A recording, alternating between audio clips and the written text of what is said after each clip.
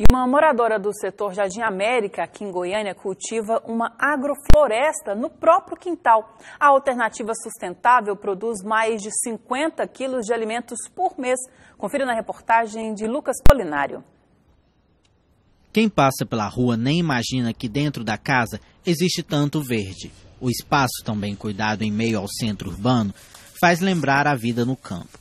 Para a Natália, que utiliza o método agroflorestal baseado em uma pesquisa suíça, trabalha o solo de maneira mais eficiente e saudável. Aqui, produzir é, hortaliças né, e as, todos os alimentos que vêm para o nosso prato, eles precisam muito de sol né? Então a gente tem o que? O vizinho, né? Que tem a construção dele, e aí a gente tem um período menor de insolação.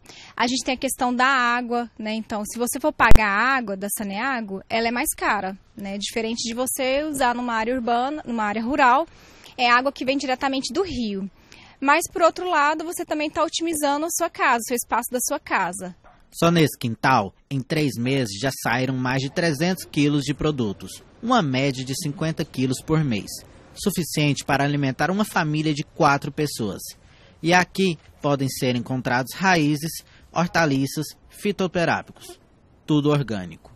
Olha, isso aqui traz benefício desde para a cidade, que diminui a nossa dependência de meios de produção é, externos e também para a nossa saúde, que a gente tem acesso a um alimento é, sem agrotóxicos, sem veneno e na nossa casa, né?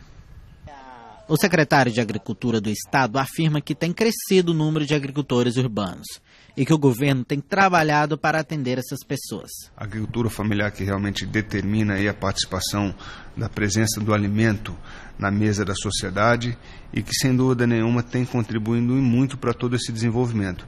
Temos algumas políticas especiais que são trabalhadas a esse público em especial, a qual temos contribuído e fortalecido cada vez mais todas essas políticas. Há exemplos, por exemplo, há exemplo do, do PAA, que é o Programa de Aquisição de Alimentos, que é um programa e uma política pública da Conab.